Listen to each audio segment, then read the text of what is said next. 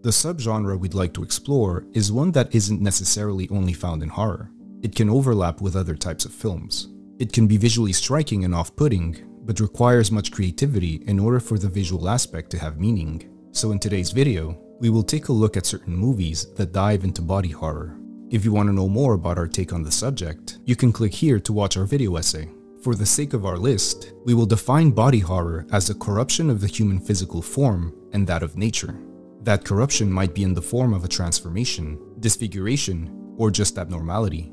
And it should be a recurring theme, not just one shocking scene that is disconnected from the feel of the film. So strap in, be sure not to eat anything while watching, and we present you 10 movies containing body horror that you should check out. But before we continue, this video is sponsored by Surfshark, but more on that later.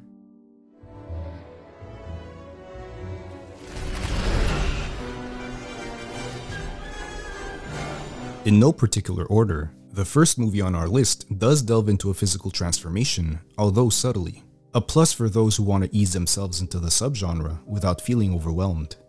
What's that? What? There. Nothing. Black Swan introduces us to Nina, a talented ballerina that is obsessive yet innocent, and has trouble letting go of her meticulous approach to dancing. Just want to be perfect. You what? Want to be perfect. which works against her as she tries to embody the coveted role of the Black Swan. Pushed by the director and by the new ballerina, Nina begins to access the sensuality and the darkness that is needed for the part. The transformation we see is mostly a result of the main character's mental decline.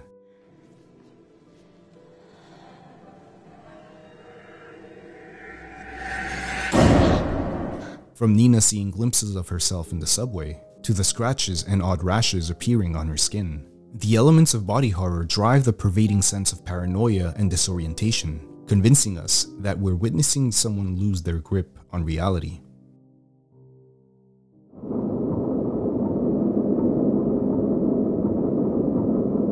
The second movie on our list goes a bit further into the disgusting and weird. Eraserhead uses body horror not as one sole element pertaining to one character, but as a recurring one within different characters and objects in the film in order to cause unease and discomfort.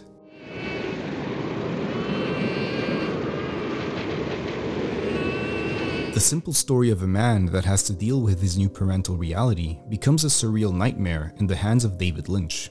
Just as an example, when the protagonist meets his girlfriend's parents, he remains unresponsive as distressing things occur around him, like the odd conversations, the fits his girlfriend and her mother are subjected to, the miniature bleeding chickens they're supposed to have for dinner. And of course, the eventual reveal of the baby. Something as mundane as dinner with your in-laws, or something as hopeful as a newborn child, is deformed into something horrendous and shocking. The film seems to use body horror as an allegory about the fears of parenthood. Not a weapon. But I don't trust it. You know, I don't trust anything that's. You're right, Chris. For the following movie on our list, we're going with a sci-fi documentary style found footage film that more closely resembles what comes to mind when we hear the term body horror. District 9 introduces us to a race of aliens that are stranded in Johannesburg. They are pretty much seen as a bother and are set to be relocated further away from the city. Yeah, we are here to serve you an eviction notice. You just put your skull on there. Okay, all right. During the eventful eviction campaign, Wikus comes into contact with a fluid that gradually changes his physiology into that of an alien.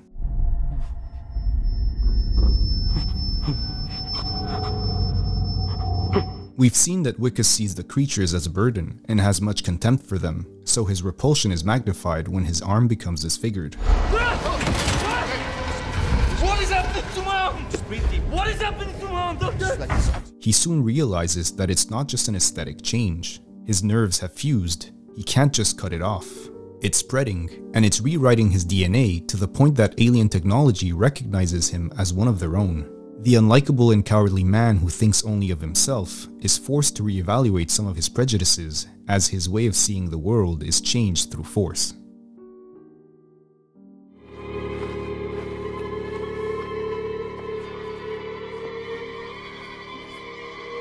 The next movie on our list approaches body horror less from the perspective of a physical metamorphosis, but rather as an affront to the human body through animalistic violence. When we first meet Justine in Raw, we learn that she is a strict vegetarian. Mmh. Qu'est-ce qu'il y a mmh. La mmh. crache Merde. T'as croqué dedans Non. T'es sûr As she begins her journey through veterinarian school, she sees herself forced to renege on her principles in order to conform to a system that is degrading and absurd. I'd really like to know how much of the hazing is realistic and how much of it is a metaphor for what we normalize in society because, damn.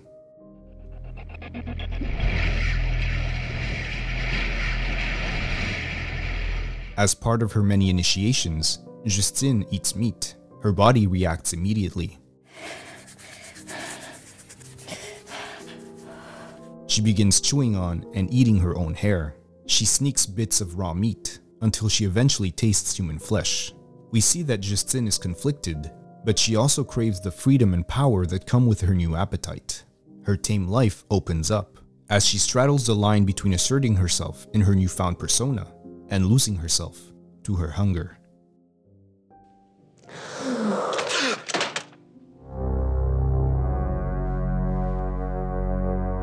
As we reach the halfway point, we come to one of two David Cronenberg movies included on our list, Videodrome. Max Renn is a TV producer that is looking for the next big thing, because normal television violence and softcore porn aren't enough. He's shown a pirated signal of a show where people are violently tortured and killed. From the moment he sees it, he becomes fixated on the program and wants to find out more about it. It's just torture and murder. No plot, no characters. Very, very realistic. I think it's what's next. altering his perception of reality as he goes further down the rabbit hole. The body horror we observe is in the deformation of technological elements, as well as Max's own body, showing the transition towards the new flesh.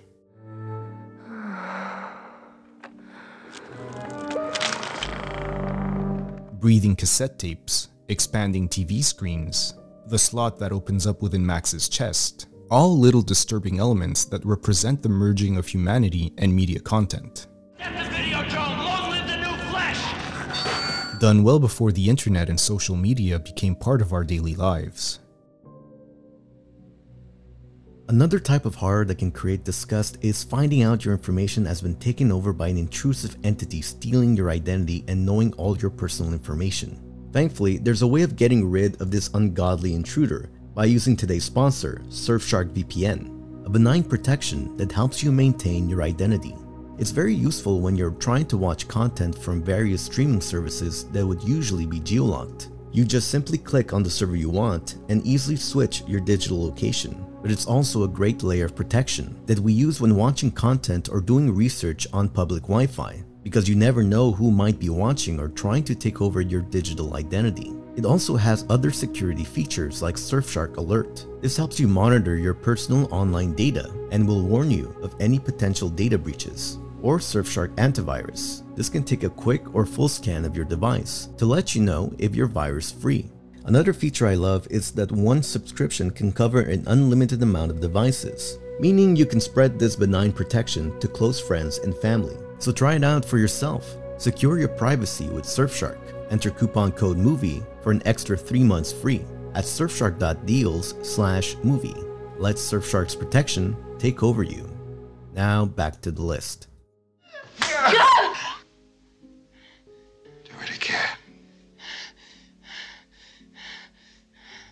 The following film on our list might leave you scratching your head on more than one occasion. Possession is a very heightened and surreal story of a couple that is breaking up.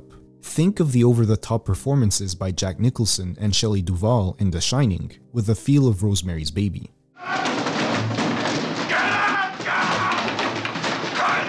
Mark is obsessive and violent, especially when he learns that Anna is cheating on him. That is not your family. Your family is here. You must call him now. But I can't on the phone. I don't trust you. Ah. Anna is growing increasingly unstable, and in the midst of it all is their only child, caught in their wake. In addition to the bursts of anger and violence, the self harm, the elements of body horror are seen within Anna's secret life.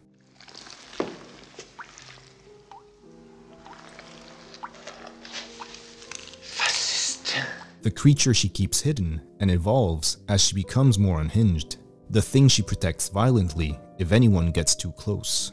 Was it real? Was it a representation of her psychosis? The movie won't give you answers to all of your questions, but will make you think and try to bring your own interpretation to it.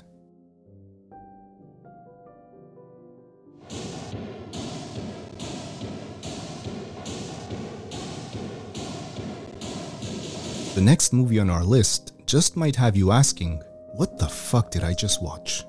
It's not easy to describe Tetsuo the Iron Man, because even though it has a short runtime, it's a lot.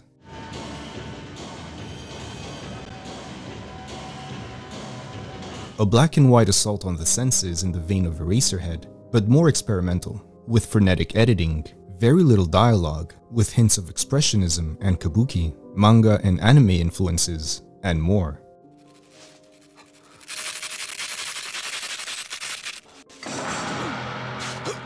It starts off strong with a disgusting factor as a metal fetishist inserts a rod into his thigh. It develops maggots, which makes him run away and be accidentally killed when he gets hit by a car. The driver then suffers the victim's wrath as his body morphs into one that is metal, intertwined with flesh.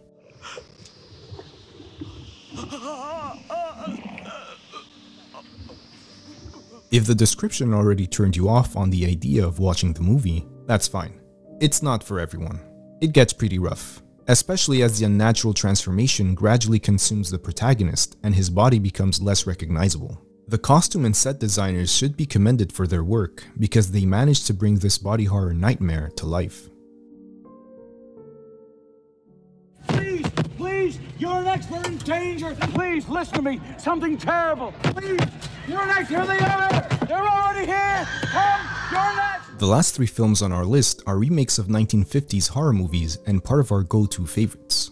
In Invasion of the Body Snatchers, humans are slowly being replaced by aliens, but most people don't notice it. There is something different. Something is missing. Emotion, feelings. He's just not the same person. It's interesting that if you didn't catch it at first, after repeat viewings, you might notice little details in the background of people acting strangely or staring at the main characters, further enforcing the sense of red scare paranoia the film is going for. But somehow today I felt everything had changed. People were different. Not just Jeffrey, but everybody. People keep saying that their loved ones have changed and aren't themselves. Characters become devoid of emotion and meet in secret. All little hints that lead the protagonist to discover the horrible truth a little too late. The movie goes into body horror in the way the creatures replace humans, the pods, the adult-sized fetuses, the transitions.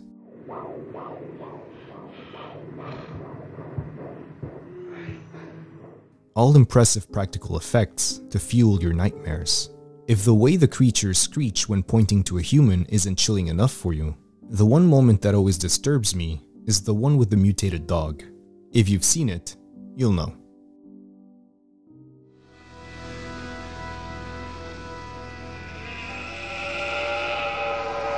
Our next to last film on the list is a classic that we've spoken about often on this channel, The Thing. The movie begins with an odd scenario. Near a research base in Antarctica, people on a Norwegian helicopter are shooting at a dog, trying to kill it as it runs away. As the story advances, the dog is taken in as some of the American researchers go off to the Norwegian base to find out more. It soon becomes obvious that something went wrong and left behind a strange inhuman corpse found this.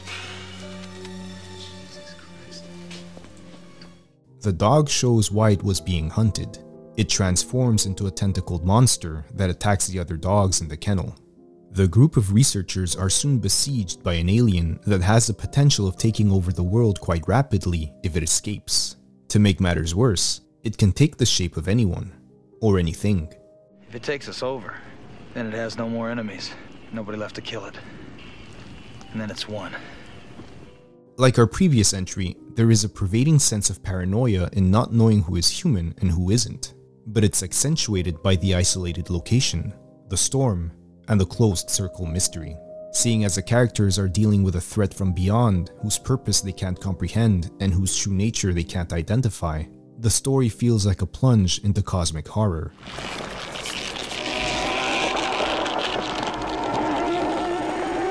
The film's legendary usage of practical effects creates all sorts of undefined monstrosities as the alien transforms into humans, animals, and all sorts of mutations. It's body horror at its finest. I can only teleport inanimate objects. Well, what happens when you try to teleport living things? Not while we're eating. We end this recommendation list with another entry from David Cronenberg's filmography, The Fly. It's a very lean doomed romance sci-fi horror movie that doesn't waste any time in getting into the plot and doesn't have much fat. Seth Brundle is a scientist that lacks a social life. He meets Veronica at an event and tries to impress her by bringing her back to his place and showing her his invention, telepods that allow for teleportation. From one pod to another, uh, disintegrated there and reintegrated there. They eventually begin a relationship and try to work out the kinks regarding the teleportation of live beings. One evening, as he's feeling insecure about Veronica meeting her ex, Seth decides to test the device on himself. The problem is that a fly gets into the telepod with him and their DNA gets mixed up.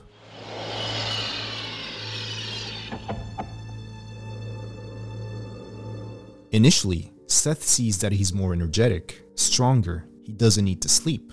Eventually, the changes become less positive. What's happening to me? Am I dying? Is this how it starts? Am I dying? He develops rashes, grows thick patches of hair, loses his ability to digest food on the inside. Most of the film's runtime is dedicated to Seth and Veronica's relationship, so when the changes start to occur, it hits harder because we've seen them at their best. And now you see the impact the changes have not only on Seth's body, but on the relationship, on Veronica. Body horror is used to showcase the physical metamorphosis, starting off small at first, but gradually taking away Seth's humanity with every organ he loses. Uh, I'm an insect who dreamt he was a man and loved it. But now the dream is over. The transformation represents old age and illness, how they can affect the person that's concerned, as well as the loved ones. And that's it for our list. But what's your favorite body horror movie? Please let us know down in the comments. And until next time.